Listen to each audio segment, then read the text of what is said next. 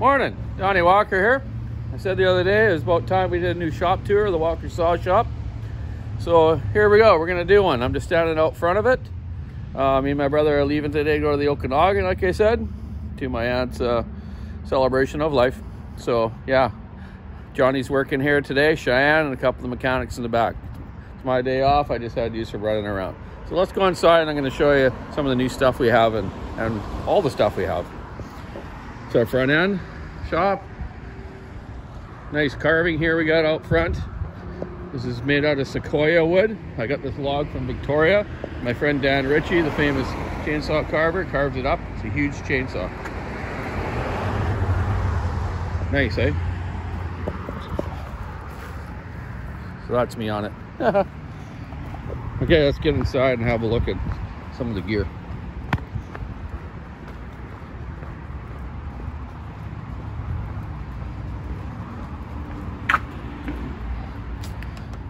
Okay, here we are at the Walker Saw Shop. There's my brother Johnny over there. Hey, Johnny. Cheyenne over there, his daughter, my favorite niece. The only one. The only one, too. Yeah, yeah. I line up with some Husky mowers. They still make some mowers. Not the best quality in the world, but they're okay for consumers. Got some new Echo battery saws. They seem pretty zippy. I like this little top handle one. It's balance is nice, it's nice and light. See how they stand up? These battery stuff's getting really popular. We have a ton of it here. Mixing oil, chain oils at the front counter. West Coast saw display here of Gordy's bark boxes, air filters, falling spikes, and a whole bunch of blowers. These are all battery blowers here. Wedge pouches, whistles, cork wrenches, file plates, depth gauge plates, wedge pouches. You already said that. Okay, so we got a little storage room here for stuff going in and out and extra equipment. Display rack of husk or Stihl saws, cut off saws, regular saws, battery saws, Stihl accessories, pretty much everything you need. We have very good stock, but it's been really hard to get some product lately topping saws. Here's all your gas ones. Uh, CS350T, um, a couple of the small Stihls, 201, 194, the 181. Uh, looks like we're missing the small little Echo here. Uh, I think we got more in the back. Visors. Here's some neat, old display we got here with this log. Johnny's got an old climbing belt up there and an old hard hat we got from M&B someone's old cork boots. I think those were mine actually. Some new Husky saws. The new uh, 585, 592, 3120. Uh, still got a couple 395s, just a few left. I sold, I think we did an order for a couple yesterday actually. Gloves, bars, different bars for small mounts, big mount Huskies. Small Huskies, saws here, the battery powered ones. Oh, even a battery powered little cutoff saw. That's pretty neat. Some Echoes. Um, don't keep a, every model of them, but a few popular ones that we like here. Pruning saws, loppers, accessories, and spare blades for them. Here's a really old vintage set of uh, shears. It's pretty cool. Pole saw, like Stihl. Here we got ATV uh, scabbards for your chainsaws, uh, a bunch of old little die casts or small die cast kind of still Stihl toys or whatever. Ch old chainsaws, the old delivery van that Stihl would use. These are really neat. All the old vintage uh, Stihl saws. Yeah, cool. And we have winches. We got these uh, battery power winches and gas power. They use Honda mowers. They're cap Honda motors, I should say. Capstan winch winches, all the ropes for it, and all the accessories, carabiners, pulleys, whole bunch of stuff. Golden Chainsaw Award to Walker Saw Shop. That's an old 08 Stihl that Jeff got all goldened up. Jeff's Tree Service gave it to us. Thanks, Jeff. It's just a display model. Got the offices in here. John's wife, Deb, works in here, and then Sally. display of KM unit stuff. Oh, premix gas and Aspen gas for four strokes, two strokes. This stuff stays good for like three years if it's opened. Uh, great stuff. We sell a lot of this stuff these days. It's high octane, good oil in it, and doesn't have any of that ethanol in it, like Rex, Rex stuff. Lots of trimmers, curve shafts, straight shafts, all the Huskies, all Echoes, they're all mixed together here. Look at this poor Echo sitting here between these Stihls. All the KM units, attachments, uh, edgers, little pole saws, blowers, little tiller, more stuff. That's uh, this stuff's for the Echo, and this stuff's for the Husqvarna. Trimmer heads for every type of trimmer you can you can think of. Bench shafts, electrics, big gas powered ones, brush cutters, blades for them all, for brush cutting and uh, heavy heavy heavy grass and whatnot. Yeah, some gas. Husky hedge trimmers. Our robotic mowers, which we seem to be moving more these days. Toys for kids. Uh, toy blower, toy weed eater, toy chainsaw, and toy hard hats for, for little kids. Kid stuff. Here's some more. Lots of different batteries too for the Husqvarnas, the Stihls, and the Echoes. This wall here is all electric Stihl stuff. And like I say, we move a lot of this stuff these days. These cities around here, people are building houses so close together, there's not much lawn, so you don't need big gas powered stuff anymore. So yeah, and they're they're getting way better. Every every year here, the batteries are better, the machines are better. There's um, more pro type ones here. Then you got consumer ones that you just plug in and charge up. They don't have the separate battery. So those are the cheaper ones for small homeowners. We got some Makita stuff too. Not a lot of it, but a few items. We're a Makita dealer as well. We just don't keep all their stuff. They have a, a ton of stuff as well. Uh, battery still more, spreaders, gas blowers, Echoes, Husqvarnas, and Stihls. There's an old uh, lunchbox from M&B years ago. An old skill saw. Those were made by Frontier in BC here, actually, in Trail, BC. They made these little saws. Skill saw 35 Husky. They made from made them for Jonsered. They made them for everyone. They just shaped them a little different in different colors. And here we got uh, a little display of some wear, Husqvarna shirts, and a couple go-kart trophies that I've won. Eh, that one's first. That one's a third. And lately I've been sucking, actually. So here we go. We got pressure washer stuff. Chain grinders, Oregon chain grinders. Um, we usually keep one in stock. Chain breakers, chain spinners for guys that are in camp or do their own stuff. Some logging stuff, some logging tongs, peaveys, mauls, axes, bark spuds, uh, caution signs, whole bunch of pressure washer fittings and nozzles here, some Honda stuff there. Generators, we got Bearcat Echo. Uh, they seem to make a lot of good sizes. They're reasonably priced. Water pumps from Bearcat. Some BE stuff, water, different water pumps. Rototillers. Electric power washer. Oh, axes. Got Husqvarna axes, composite type handle ones, wooden ones, every handle you can think of pretty much for mauls and axes for the fallers and, and homeowners. Fall, falling safety pads, we got all the CanSway ones that are made here in BC. Uh, locally made, which is nice. We get them custom fit for different lengths of uh, people's legs or waist size. And we have them for, from consumers to the professional ones. And uh, ones for uh, firefighting that are uh, fireproof. More power washers here, electric Stihl ones. Uh, a couple, a small chipper, uh, Echo. There's a fire pump that Echo Bearcat makes. Uh, it's not a high pressure forestry one, but it will be good for consumers and homes for uh, fire protection, which lately in the last few years, a lot of people should have had them. Climbing equipment, got a lot of climbing equipment now more and more all the time. Every time uh, we were dealing with some, he's dealing, Johnny's dealing with some direct companies now in the U.S. and, and whatnot, WesSpur and other places, Sorel and whatnot. Uh, lots of safety stuff, different uh, high vis raincoats and stuff. So we got ropes, packs, rope bags, throw weights, carabiners, uh, Maasdam polars. They're like a rope polar, like a come along, but use a rope, uh, three quarter ton, 20 foot reach. Uh, real handy for guys that are just doing, you know, firewood or wanting to move a log to do some milling. All sorts of uh, saddles. Um, uh, what do we got up here? Swivels, brake lines, um, flip lines. We got big ones for the guys that are doing single stemming, 16 footers, 18 footers, 15 footers, 14s, you name it. Uh, some pads, aluminum pads.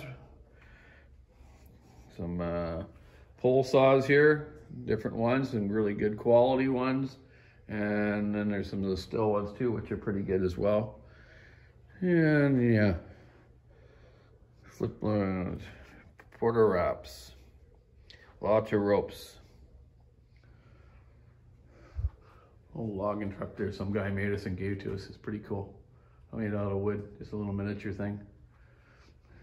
My friend Dan did a nice mural in here too. If you look up on the wall here, you see it's all painted really cool. Yeah, logging scene, old logging truck. Our old buddy in the corner there, old Charlie heading to work.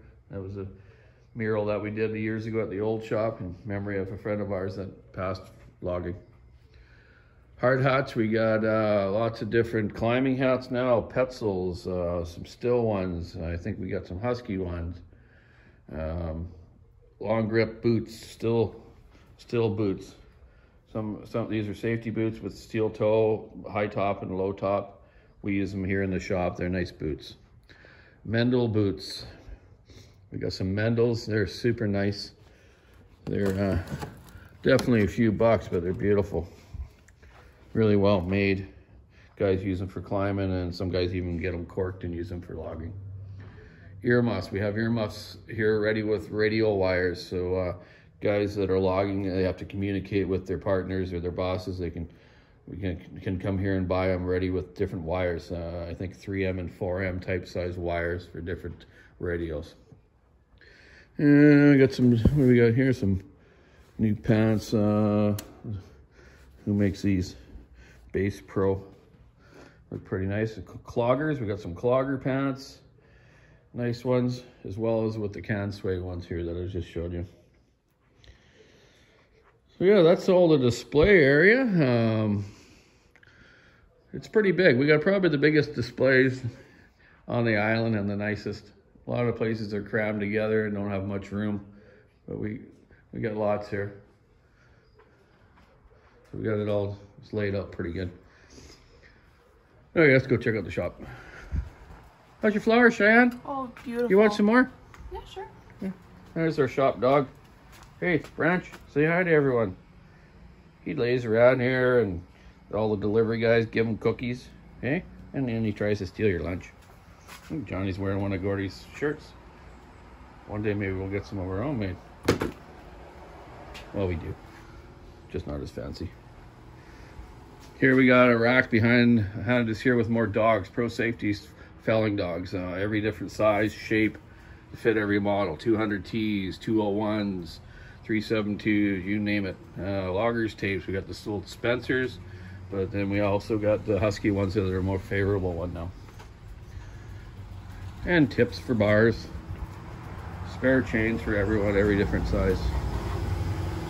Okay, we're in the shop. Here's my dirty bench. Looks like I got a few tapes to build right now. This is where I do, do my work. Thanks uh, whoever sent me the Spokane Valley Fire Department badge. Thank you very much. And there's all my tools there. These all snap-on. Uh, every different size Allen wrench, tuning screwdrivers, you name it. So Sam works here, my coworker Simon.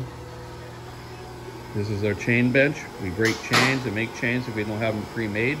It's an old arbor press my dad brought back from a logging camp from the early 60s. It's made in England and we use it for pressing bearings in and out and taking crankcases apart. We have all these custom made jigs here before we are able to actually order the proper tools from Stihl or Husqvarna. We just made all our own. I use old oilers for pushing the bearings in on Stihls so you get it set right to the right depth if you don't know how to do it too good. Pro saws to work on here on this bench. Walls of belts for every lawnmower, every tractor kicking around or whatever you got. These saws on this bench are all to be done to be walkerized. This is a whole cabinet full of carb kits, every one you can think of for every different chainsaw, weed eater, whatnot. Bars, we got huge cannon bars, 80 inch, 90 inch. They've been really behind. We had bars on back order for over a year. Uh, Stihl lightweights, we still don't have any. Uh, Johnny's working with a Chinese company. We're getting our own lightweights made with our name on it. We'll see how it goes. We do have some Husqvarna new uh, white lightweight ones. They're made by Sugihara, not Husqvarna. Then I'll make their own. Oh, Mike's just going through with the new battery Stihl. Hey, Mike. How's it going? Good. Yeah, so there's some big cannon bars. Well, above my bench, walls of handlebars. Full wrap, half wrap, every wrap you can think of. Every model the size. Husqvarna, Stihl. John Thread. Heated versions, non-heated versions. And here's one of my coworkers, Scott. Hey, Scott, say hi to YouTubers. What are you working on, buddy? Oh, Hyundai generator. Oh, he's working on a crappy uh, Hyundai generator. Pain in the butt. A lot of fuel pump problems in those. This is a lift bench we use. It's for motorcycles or ATVs. We use it for tractors, lawnmowers, and whatever we're working on. Mike Newman, check hey, out hey. his YouTube channel. It's Ginger in the Woods. Yes, sir. Yeah, yeah. He hasn't made any meat lately, but he'll get at it, right? Oh, yeah. Yeah. You know, computer desk. More saws for me to, to modify, get them done as quick as I can. These are the ones that I have to do, and I cross them off when I do them. So I got a got a few to do. Yeah, so we got consumer saws here that we fix for people. Pumps, lawnmower blades. Every blade you can think of for every type of lawnmower in the world. There's way too many. Consumer saws and pro saws that are fixed already, ready for customers to pick up. More lawnmower blades. Gasket kits for every saw. Husqvarna, Stihl, Always try to keep one or two in stock. Stihl's nice that they come with the seals with the gasket kits, which is nice. I wish Husky would have done that for years too. Processor harvester bars, all Oregon, some Cannon. Every every company has a different machine, so we have to stock everyone, and we keep track of their machines, sizes of bars, so we know what to give the customer and the size of the chain. Lots of parts. This is all lawn and garden parts back here. And here we got a mix of chainsaw parts, trimmer parts, lawnmower parts, crankshaft, cylinder cases, or cases for crankcases for cylinders, rows and rows of parts, all mixed in different varieties, but we have a map that tells us which room they're in. When you look it up on the computer, it tells us, okay, for example, I'm looking for a 390 uh, base gasket. So it tells me it's an HP 60 and in that in that drawer right there. So there's all my spare 390 gaskets. When i take them apart to modify them a lot of time i rip them so i replace them this room here is another service room full of parts with a computer lookup cabinets and cabinets of screws primer bulbs spark plugs every spark plug for everything. And let's go back here another storage room where i uh, keep a bunch of old parts for old Wajax fire pumps and trimmers and lawn and blowers that are ready to be picked up and ready to go. Got storage of gas cans that we, so we can need more out front. We just come back here and grab them. So it's more of a warehouse. Lots of Aspen fuel, probably the best fuel you could use. And mixes oil, mix oil. Everyone likes something different, so we keep it all. I think it's all good. Aspen makes a very good mix oil. Um, Red Armor's good. The Stihl's good. The Husky's good. Everyone has a different choice. They're all good as long as you use good high, talk, high octane gas with it. Don't use the cheap stuff that has ethanol in it. 89 and above, for sure. Okay, hear, I hear uh, my Swedish buddy is here today. I think I hear him. Yep, I hear him. There he is, working away.